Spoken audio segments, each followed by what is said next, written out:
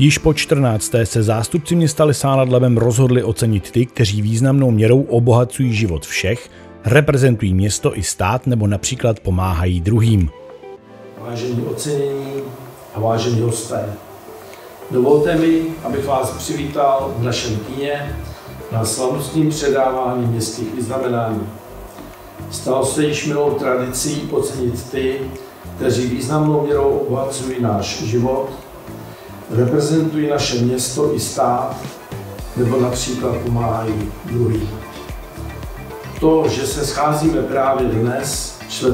března, není náhoda. 4.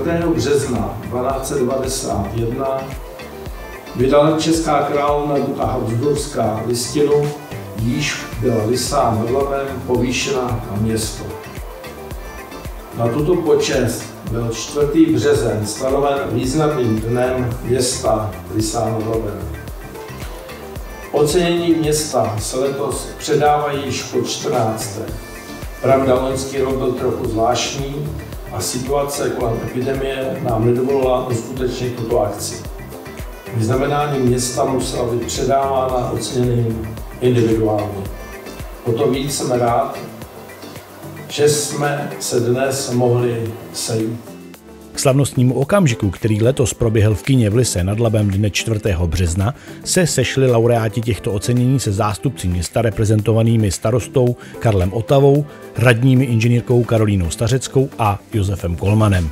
Já bych chtěla říct, že si eh, velice vážím všech, kteří svou práci nebo jiné poslání, kulturní, sportovní, prostě to, co, to, co se vlastně zrozeně dělají se vší pílí, se, vš, se vší hrdostí. Kromě zmiňovaného ceremoniálu zhlédli přítomní diváci i premiéru nového dokumentárního filmu věnovaného Lisé nad Labem. Jaká na místě panovala atmosféra se můžete podívat v naší krátké reportáži a pokud byste se zajímali o kompletní seznam všech oceněných, tak jej najdete v popisku našeho videa. My se s vámi zase příště těšíme na viděnou.